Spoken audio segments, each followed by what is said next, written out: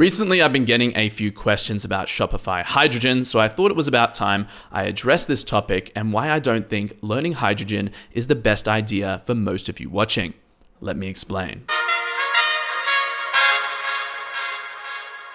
Okay, so before we get into it, let's clarify what Shopify Hydrogen is and talk about what purpose it serves within Shopify. Shopify Hydrogen is Shopify's own headless e commerce framework used to build storefronts on Shopify, and it's an alternative to what I mostly cover here on this channel, at least up until this point, themes. I first covered hydrogen back in 2022 here on YouTube through my video Shopify Hydrogen Development for Things You Need to Know, and I went through the short history of hydrogen, starting in 2021 with the announcement of the headless e-commerce framework, and finishing in 2022 when version 1 came out, alongside Oxygen, Shopify's development platform for hydrogen, directly hosted within the Shopify platform. Like most of you guys watching, I was initially excited by Hydrogen when it came out as well, and made an additional YouTube video and a 4 hour Skillshare class on the subject. But after that, I simply quit with Hydrogen completely.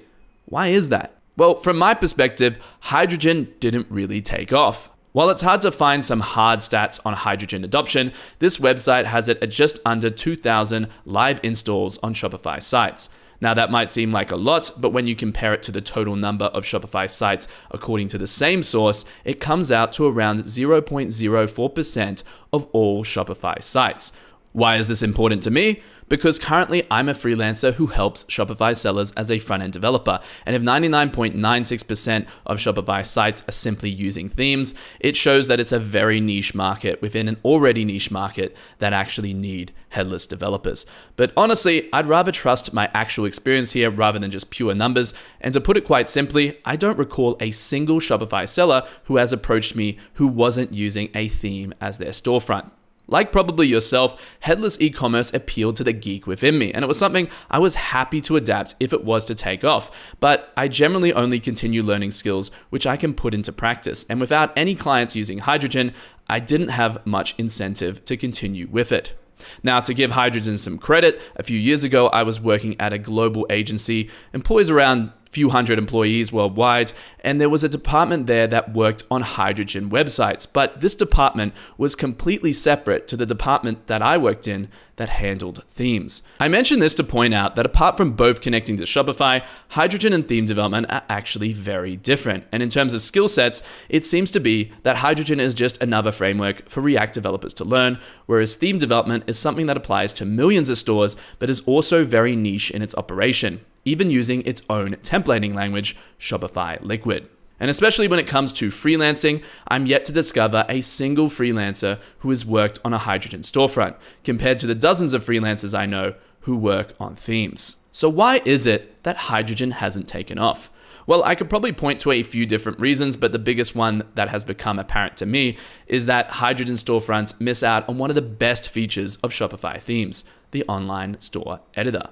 From the perspective of store owners, all they got to do is click this customize button, and if the theme developer has done their job correctly, they can edit content and move around sections via a user interface that perfectly blends in with the rest of the Shopify admin. And from the developer's perspective, I can easily expand upon this UI to provide more options by editing these simple JSON structures called schemas. Now, to be fair, there are some pre-built CMSs on the market that we can plug into a Hydrogen storefront to provide this, and some even emulate the look of the Shopify online store editor, but these services are of course not Shopify and will incur an extra cost to run and use. Contrast this to just using a Shopify theme, which is pre installed and working with the online store editor at no extra cost from the moment you click to create a new store on Shopify. And if you want to use a different theme, i.e., update your storefront to a different look and feel, there's a whole marketplace of themes that you can simply install without any technical know how. I mean, why would any Shopify store owner want to go to the trouble of switching storefront solutions? Well, let's talk about that next. It's become quite clear to me that Hydrogen is for a very niche subset of Shopify sellers. These sellers are typically more enterprise and have other platforms and systems that their Shopify storefront needs to connect to. They have reached the limits of what can be achieved using Shopify themes, and they are willing to invest in headless software infrastructure along with a custom CMS for updating content. Of course, these companies can be highly valuable to your portfolio if you were to sign them on as a development partner, but with such high development needs, these companies are more likely to turn to a software agency than a freelancer like you or me. And so, while Hydrogen has its place, I think it's more a framework for React developers to learn rather than something for Shopify specialist freelance developers. If that's you, great. I don't think there's any problem learning a skill that you're genuinely interested in, but it really depends on your end goal. If you're getting into app development, learning how to build user interfaces with React, and want to add Hydrogen to your arsenal, great. Go right ahead. But if your goal is to tap into the lucrative niche of up to 5 million Shopify stores running themes as a freelance developer, the choice, I think, is still very clear. I know that Shopify is continuing to invest in Hydrogen, but they are also improving upon Shopify themes. It's not that one is better than the other, it's just two very different camps, one that applies to 99.95% of stores and the other the rest. One is more complicated to learn and build with, the other is as simple as it gets.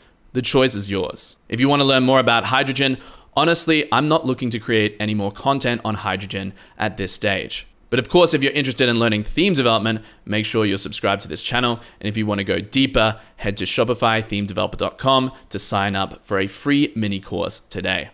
I'm going to leave you there, guys. If you have anything to add to this discussion, feel free to add a comment below this video. Otherwise, happy coding, and I'll see you on the next one.